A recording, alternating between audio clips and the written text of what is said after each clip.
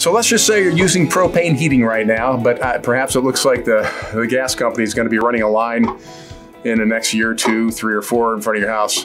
Jim, these folks might want to know if they get a propane furnace now, can it later be converted to a natural gas furnace?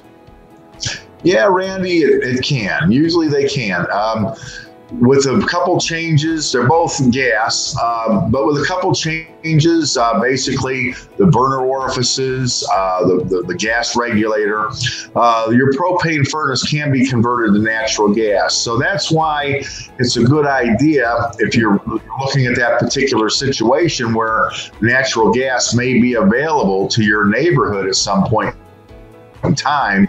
Uh, you may want, and you are building a home and you have a choice of all electric, oil, or propane, uh, you may want to go with that propane in the hopes of being tied into natural gas lines in the near future. Because the nice thing about it, natural gas, it doesn't have to be delivered. There's no chance of running out. It's it's always there.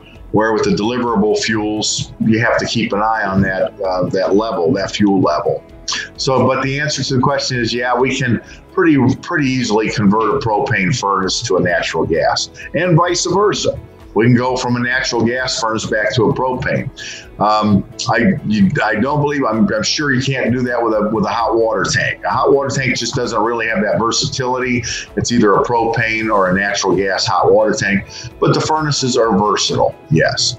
Well, that's that's great to know, and, and thanks for sharing that with Jim. I mean, it's always good to have options, whether it's uh, your furnace or whether it's who's servicing your furnace or your air conditioning or helping you put some new ones in. And a great option is, is of course, Forquer Heating. Um, and just give Jim a call sometime if you need any help, and he'll be happy to take care of it. In the meantime, you can always visit forquerheating.com. Thanks again, Jim. Thank you, Randy.